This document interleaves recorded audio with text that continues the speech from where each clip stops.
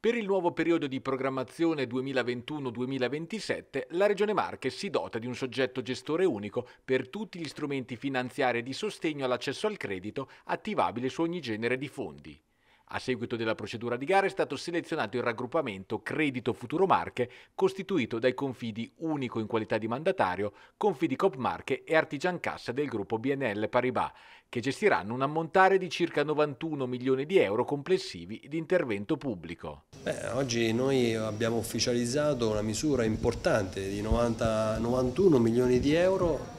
con la nuova programmazione europea, ma non solo con la nuova programmazione europea, con una, una parte di fondi anche regionali per il sostegno alle imprese piccole e medie della nostra regione nel settore del finanziario, di fatto con un abbattimento dei costi di interessi e soprattutto con un'azione di garanzia verso i finanziamenti che sono fondamentali. Abbiamo stanziato 91 milioni di euro di questi 91 milioni di euro, i primi 20 milioni usciremo con un bando ai primi di gennaio per piccole e medie imprese e lavoratori autonomi. Questo è molto importante per i costi che le piccole e medie imprese hanno per l'accesso al credito, per garanzia contro garanzia. Noi garantiremo il 4% del, del, tasso di interesse, la rimanenza la pagheranno, la pagheranno, le piccole e medie imprese e in più anche, ci sarà anche il costo della garanzia fino a 5 mila euro. Sono importanti misure per risollevare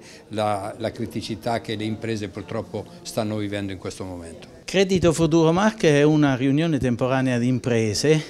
cioè noi, Confidicop e Artigian Cassa, per gestire questo importante strumento che la Regione ha messo a nostra disposizione.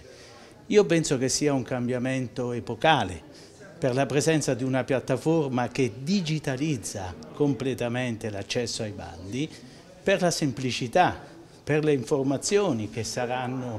veicolate alle imprese. Quello che la SVEM svolgerà sarà un'attività di controllo perché comunque le risorse europee eh, che sono state cofinanziate dalla Regione Marche dovranno essere rendicontate per non, alla fine della programmazione non perderle, per cui la collaborazione in questo caso eh, tra SVEM e il Credito Futuro Marche avrà appunto questo compito di controllo e di indirizzo qualora le risorse indirizzate appunto sui bandi non avranno la tiratura dovuta.